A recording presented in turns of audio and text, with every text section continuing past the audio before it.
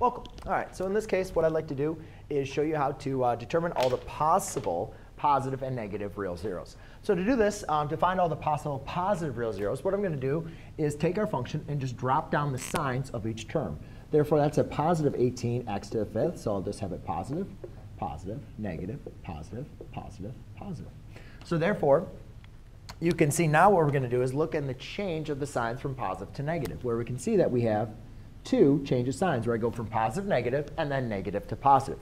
So when determining what, how is that going to help us out, um, Descartes' rule of signs says that the number of change in signs between our terms is going to tell us how many possible uh, real zeros we have for the positive minus an even number. So therefore, you can see I have two change in signs.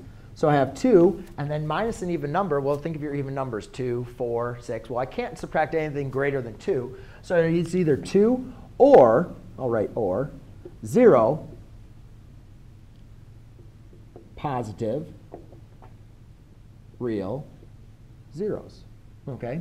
So that means on my, you know, in this function, if I'm going to find the zeros, I could have two pos uh, positive real zeros, or I could have zero positive real zeros. And if it's not a positive real zero, then it has to be a negative. So the next thing we'd want to do is determine the negative real zeros. So to do that, what I need to do is evaluate for f of negative x. So now my input variable is going to be a negative x rather than a positive x.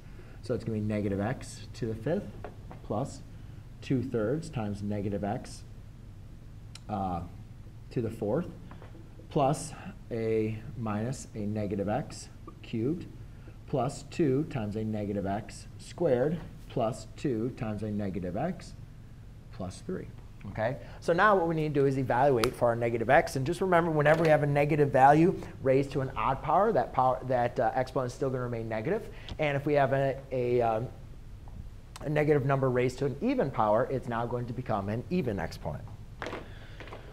So this now turns into a negative because I'm multiplying the negative x to an odd power. So now this whole term will be negative. So now that's 18, negative 18, x to the fifth. Since that's to the even, that's just going to remain positive. This now turns into a negative, but a negative times a negative is now going to turn to a positive. This remains positive. That's going to remain negative. So now, again, we drop down the signs. So I'll have, well, let's drop them down with a different color, right?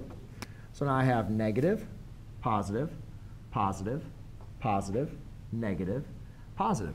So now when looking at our change in signs, what we can do is we can see, well, we have one change of signs, two, three. So again, going by our rule.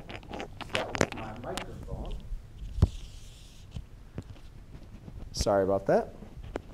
So by going by our rule of the change in signs, you can see now I have three possible, uh, three real zeros, or minus an even number. Well, again, I can subtract 2, but I cannot subtract 4 because you can't have negative number of zeros. So I could have 3, or by subtracting 2, I have 1. So 3 or 1, negative real zeros. Okay. So there you go, ladies and gentlemen. That is how you use Descartes' rule of signs to determine all your um, positive and negative real zeros. Thanks.